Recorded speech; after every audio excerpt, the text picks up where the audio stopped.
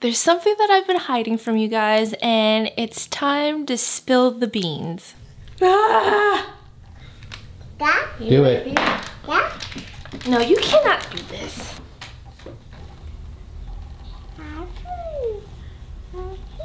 Okay, just peed on the stick, and now we're waiting for the results. You wanna come look? I'm scared. That's okay. Do you know it yet? Yeah. Is it good or bad? No, I don't know. Holy sh!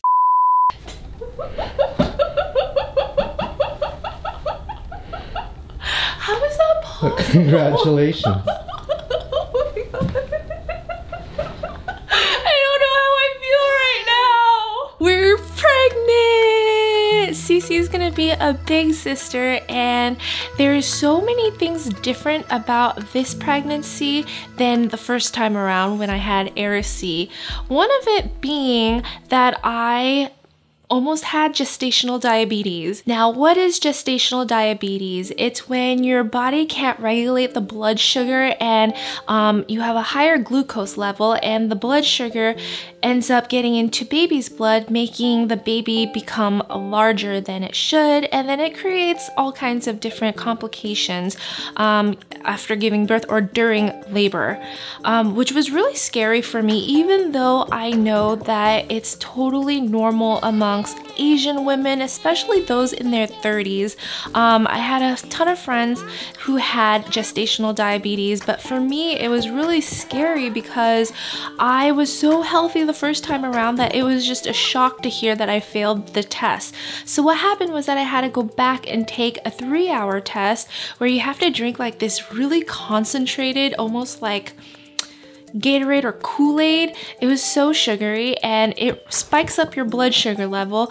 Basically, you have to take a blood test every hour for three hours to see if your body could regulate the blood sugar and take it back down. Luckily, I passed that one, but I will have to take another test at my 26 week mark to make sure that everything is okay. that probably was the worst part of it was just really stressful and it was scary and I didn't know what to expect. I think that's the hardest thing is that when you don't know what to expect and you think that something could be wrong and it could put the baby at risk, it just ends up being really scary. Um, otherwise, I generally have a bad time during the first trimester. This time around was actually pretty rough because everything made me sick. I couldn't eat for the longest time because I felt just so much indigestion, nothing digested, and it just sat right here. So I probably threw up almost every day. And that was really different from the first time around because even though I did throw up with Aracy, it was not this often. I just took some heartburn pills and that really helped, but it really helped to not eat such large meals either. One of the things that I absolutely could not get near was onions. Like the smell, just cutting it. I eat onions almost every day in every single meal that I cook. So not being able to cook with it was a little bit weird, but just how sick it made me. Oh, I remember making sloppy joes for us and as soon as I took the first bite, I had to run to the bathroom and do my thing. And after that, I just could not, I could not. Another thing is now I have a toddler I have to run around with and chase after, so I am extremely tired. Now, if you guys have noticed um, that I've missed a few videos here and there, it was because I couldn't get my act together and feel good enough to film, which is really sad because this is my job and I really do take it seriously, but just when you don't feel good and all you want to do is lay in bed or just you feel like pukey, it's so hard to pull yourselves together. And all the videos that you guys have been seeing were days that I actually felt good enough to film. So I'm really happy that I was at least able to produce a few decent content for the channel in the past few months. Now let's talk about cravings.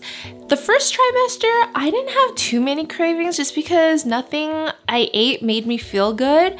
Citrus was all I wanted, but of course, because I had that gestational diabetes scare, I really couldn't go all out and eat whatever the heck I wanted just because I want to be mindful that this could happen again at the 26 week mark um, because I have to retake the test. So I'm still trying to be really healthy, eat whole grains. I live a pretty healthy lifestyle to begin with. So just being mindful of what I eat and um, not going all out has been important. But all I crave these days is Chick fil A. Prior to this pregnancy, I had never even had a Chick fil A, and I posted that on my stories when I walked into the restaurant. I asked, What should I order? So many of you guys were like, hold the phone. How have you never been to a Chick fil A?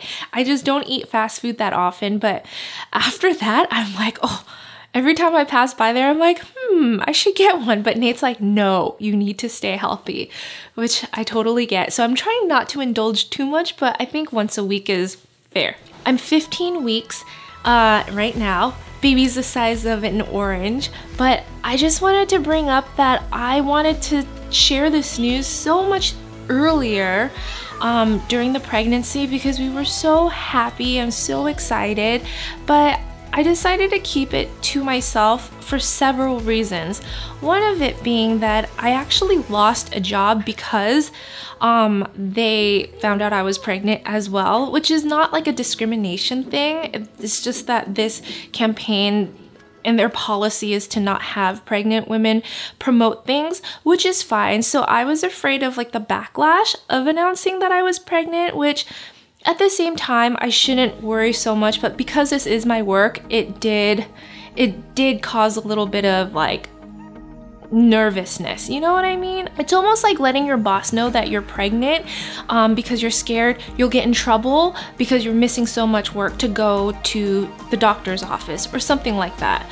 But I just want to bring up that women are usually scared to let people know that they're pregnant because of whatever might happen. And I think that's just so sad because it's such good news that you want to share with the world. And let's say if it does turn to sour news or like bad news or sad news, I would want to be able to share that and have comforting, like people comfort me through it instead of like going through it all by myself, which is contradictory to what happened uh, with me keeping this a secret until now. I did tell like my best friends and my family and stuff like that, but I just wanted to bring that up and kind of talk about it. I want to know how you guys feel about it. I feel like this taboo is kind of outdated and weird because now that we're so open with each other on like social media and whatnot, we should be able to talk about it, right? I remember going to my first doctor's appointment and seeing the baby's heartbeat at six weeks. And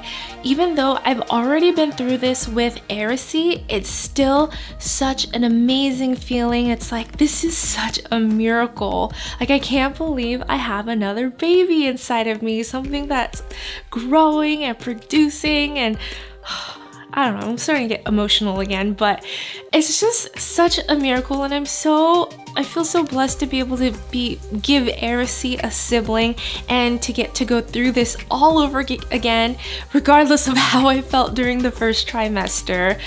Women always say they loved being pregnant, and then my friend and I joke that they must have forgotten how bad it felt during the first trimester, but I think we forget about all those things because the end result, having that baby, is so worth it. All the work and all the pain and the Charlie horses, all the weird things your body goes through is so worth it. I would love to create more pregnancy um, journey videos along the way. So if there's anything specific that you want to know about, like my pregnancy skincare routine or like my eating, like healthy eating ideas, dressing a pregnant body, which I have found to be very challenging the first time around and this time around.